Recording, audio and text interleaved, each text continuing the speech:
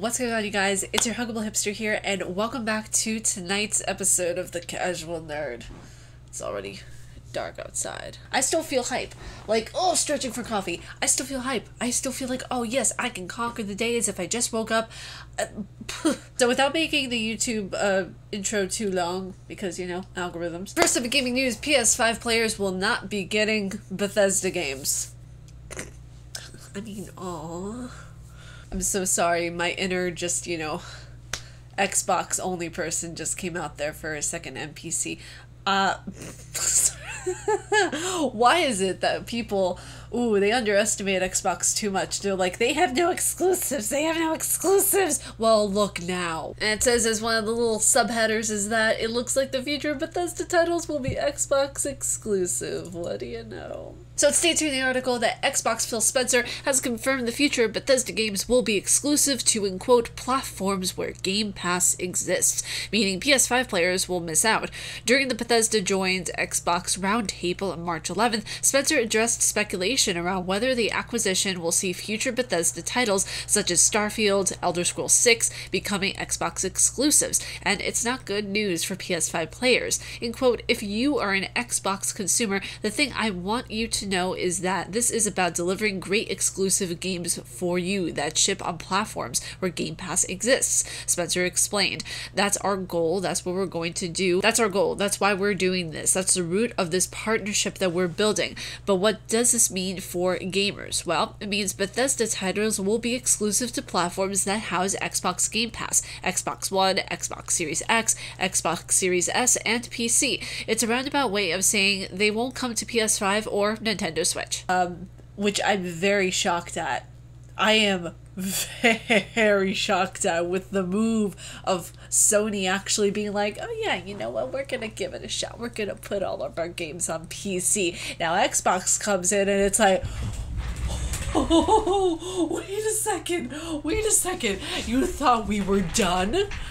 You thought that we weren't going to give just bite the bait and hold on to it and be like, no, we're gonna have exclusives. You thought wrong, sir. Xbox is now coming in being like, this is our time. This is this is the time where we get to shine and show people that hey, we can have exclusives too, you know? wink wink. Listen, at the root of it all, I am a PC gamer. Okay, I am a PC gamer at heart. The fact of the matter is is that I hopped onto the Xbox train very late in the game. I would say no pun intended. I would say 2016 was the first time I actually ever played on any major console and that was Xbox. So for me, my heart is a Microsoft girl. Always have, always will be. Before Xbox, after Xbox. Not to say that I don't like Sony. Sony has come out with some fantastic, oh, chef's kiss products. Absolutely incredible. But my loyalty lies in Microsoft. So the he who, that's, that was something. That was something, kids, wasn't it? I'm gonna get some people down in the comments below being like, oh, Microsoft, oh. I need you guys to go to customer service with that attitude. Make your complaint over there, not here. This is where we talk about gaming news, not BS. So next up in gaming news, we have some Resident Evil news, which actually the next, uh, well, this one and the next article is going to be Resident Evil related, so strap in, because Netflix's Resident Evil anime series takes Leon and Claire to the White House. Resident Evil 2 Remake's voice actors will be reprising their roles, so it'll be really cool to see uh, from the 2019 remake of Resident Evil 2, now those voice actors are going to be in this animated series, which I absolutely love that. I love it so much. It states here in the article that zombies are headed to the White House in Netflix Netflix's Resident Evil anime series, Infinite Darkness. Which honestly, it sounds like a hardcore metal band. It's like, Infinite Darkness. I can just picture like some emo kid with hair over their face being like, hey, yeah, dude, what's going on? What band are you listening to that, man? Oh yeah, bro, it's this new band I've been listening to throughout my hard times called Infinite Darkness. I picture it it's you know it's totally how I picture it. I mean, you know, I, I listened to a lot of Marilyn Manson and Evanescence in my time, but never Infinite Darkness. Netflix revealed the upcoming series plot on Thursday, releasing new teaser images and announcing the voice cast. Resident Evil Infinite Darkness is set a few years after the events of Resident Evil 4 and will star Leon S. Kennedy and Claire Redfield. Netflix said that the series will bring back voice actors Nick Apostolidis as Leon and Stephanie Panisello as Claire, the same roles that they played in 2019's Resident Evil 2 2 remake. But I'm excited about this. I am so excited about this. That's why I'm saving all my energy in reviewing trailers so that I can review the so next up in gaming news, Capcom warns against fake Resident Evil Village early access invitations. Looks like phishing. If you're gonna do nasty things, just stay over there in the corner, Eat your damn cheese sticks. Shut up. Stay tuned in the article that Capcom has issued a warning about fake Resident Evil early access invitations. In a note to press, the company said it was made aware of emails in circulation that pretended to contain early access invitations for the hotly anticipated horror game, with the sender address displayed as as no reply at capcom.com. We want to inform you that these messages are not from Capcom and appear to be phishing attempts by unauthorized third party, Capcom said. If you have received such a message, please do not download any files or reply and delete the message immediately. I haven't gotten any emails like that, but if you guys have, please just delete the emails right away. If it's from Capcom, they're probably going to send it to a bigger creator, not me.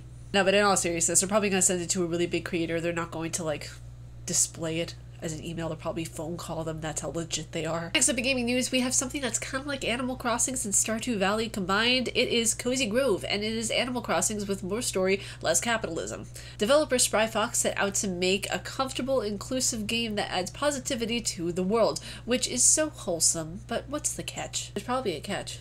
Everything has to have a catch especially nowadays. So it states here in the article that it's been nearly a year since Animal Crossing New Horizon was first released for the Switch, and while Nintendo's Island Vacation remains popular, plenty of folks have quietly set their island adventures aside since. Unfortunately, if they were looking for a similar but different experience to follow, there were very few options available. Enter developer Spry Fox with Cozy Grove, which also Stardew Valley is kind of like Animal Crossing, so I don't know why they don't mention Stardew Valley, but that's besides the point. Continuing on. A simulation title in the same vein as Animal Crossing that sees players take on the role of Spirit Scout in order in order of kids in tune with the supernatural world who help soothe restless ghosts. Your scout begins the game by traveling to the tutelar Cozy Grove and is immediately stranded there, along with nearly two dozen spirits who need your help to move on. Cozy Grove, like Animal Crossing, takes place in real time. Each day, many of the spirits you meet will have tasks for you to complete,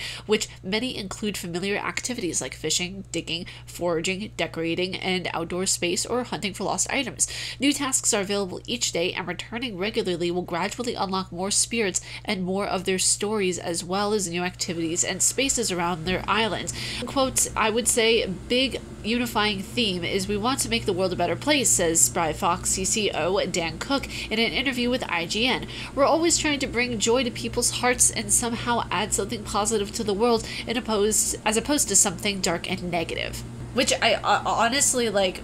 I love this plot line so much. Like the fact that they're taking the spirit world and combining it with Animal Crossings, it makes me want to download this and I might actually do a review on this game uh, it's just I, I don't know it's just something of where i think that's such a wholesome look to it like animal crossings and a horror game combined what but yeah i'll have to let you guys know what i think of cozy grove because it just I, and i'm not usually about cute. I'm normally about like yeah i love that blood and gore. Give me all of that you know bursting blood pockets. It's like, yes, please, I would love to get down with the sickness and break some bones, but you know what? Sometimes you want something cute and cuddly instead. And lastly, in gaming news, Genshin Impact made 874 million from microtransactions in the first five months. Genshin Impact is a massive success, and it made more money than Pokemon Go and Roblox on mobile over the most past five months. Whew, I'm so excited I can't even speak.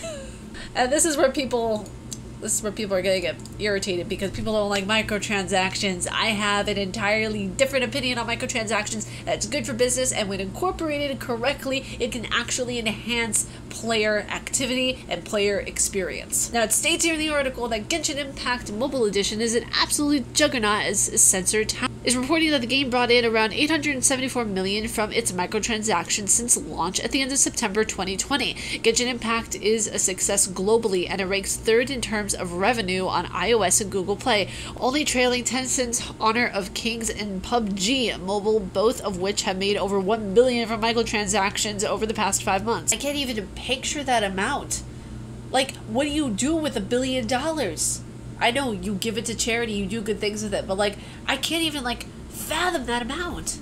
But I'm really, really happy about that. The fact that they are able to make such a globally amazing experience in terms of a game. Like, yeah, like I said, I love horror. I love being able to have a really immersive experience as far as the story goes and the plot line and, you know, how NPCs interact with one another and how my character interacts with NPCs in the world and everything. And I love immersive experiences, but sometimes you just want a game that you can sit down and chill to. And I love Genshin Impact, and I love that, you know, the kind of you know vibe that they have to an extent where you can just sit there you can chill you know you can just play in a cute anime world and i absolutely love it. Like i love anime style games they're just japanese style games in general i absolutely love. I would highly recommend downloading genshin impact because it is a really really fun game. I've had so much fun with it. I haven't put any of my coin into that game yet because i haven't gotten that far. I've only like dabbled in it a few times here and there when i can relax. But yeah it's really really fun. I would totally recommend it. You guys that's it for me. If y'all like my face and what i do please be sure to subscribe and hit the bell down below because I make videos every Monday, Wednesday, and Friday. And starting up again, we are going to be having the episodes of Psychologically Gaming coming back.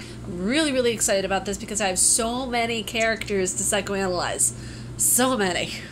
Stay casually nerdy, and I will see you guys in Monday's videos. Bye, guys.